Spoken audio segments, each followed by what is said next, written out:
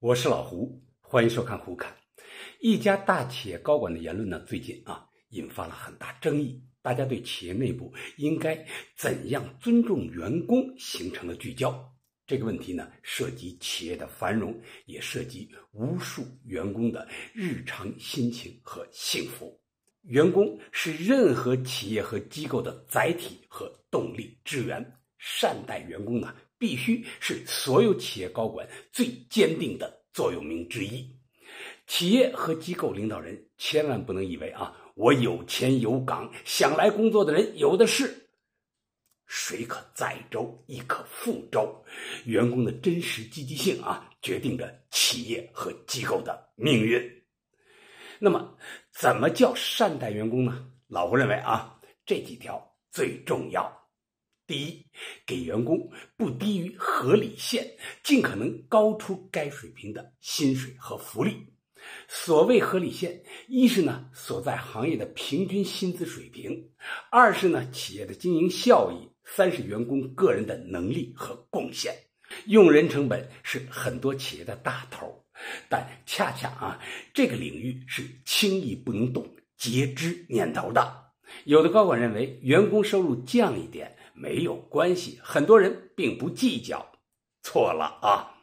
所有人都会计较，少发一笔福利和奖金，某一笔固定的收入减了百分之几，员工呢都会立刻感知，不向领导抱怨，甚至呢说降点工资没关系，那是员工无奈的表达。收入是绝大部分员工第一核心利益，如果要鼓励企业和机构内部的积极性。铁律就是工资只能升不能降，内部调动鼓励竞争，这是可以的啊。但是工资总额不能降。如果普降工资，大家的积极性、责任心啊一定会出问题。这不是员工的素质不高。如果高管们认为降薪了可以不影响大家的积极性，那才是他们的情商出了问题。当然了。企业经营效益下滑，到了不得不降工资的时候，一定呢要从高管开始降，然后呢再降普通员工的。那样的话，大家在难过的同时，怨气呢会相对少一些。第二，企业和机构有纪律，令行禁止，管理层呢要有权威。与此同时，尊重下属，让每一个人都感受到啊自己被关怀，不受蔑视和欺负，不是呢为了保住工作而忍气吞声，以及呢减少办公室政治对大家的消耗和折磨，让大多数员工每天来上班心情挺愉快的，不触头，这也非常重要啊。有些机构内部官大一级压死人。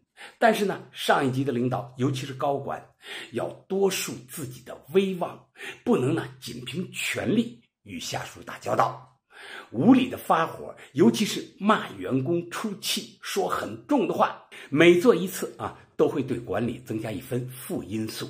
有的时候呢，领导不能自控，老胡建议啊，出了这种情况，发脾气的高管在冷静下来之后，向被骂的员工呢表达歉意，做。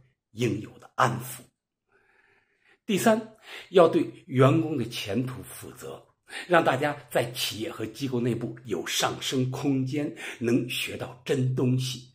对翅膀硬了选择跳槽的员工呢，能挽留则挽留，挽留不了的，大多数情况下呢，要理解和祝福，好合好散。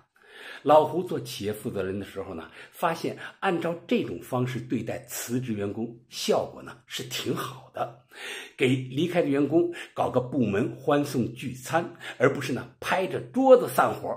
其中呢有多名优秀员工出去转了一圈，发现呢不是想的那样，又回来了。包括呢有人考上了公务员之后，后来呢又辞掉公务员回来了。有人走，没必要呢，搞得跟仇人一样，那会呢显得不近人情，动摇目前团队的人心。而且呢，走了的员工去了其他机构，保持良好关系，也是呢多个朋友多条路。老胡啊，很了解普通员工们的感受。其实啊，一个企业和机构都是大家临时的家，许多人与同事相处的时间和与亲人相处的时间差不多。有一个和谐顺心的工作环境，对人生的质量是重要的。不少人最亲近的朋友呢，就是同事和曾经的同事。所以啊，企业和机构有义务增进人们积极乐观的情绪，管理层不要颐指气使。同时呢，要鼓励有价值的内部竞争，避免员工之间毫无意义的内卷。当一个人离开企业和机构后，要多给他呢留些眷恋，而非恨意。我知道啊，这是一种理想主义的境界。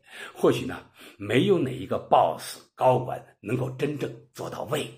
很多员工呢，也确实有他们自己的问题。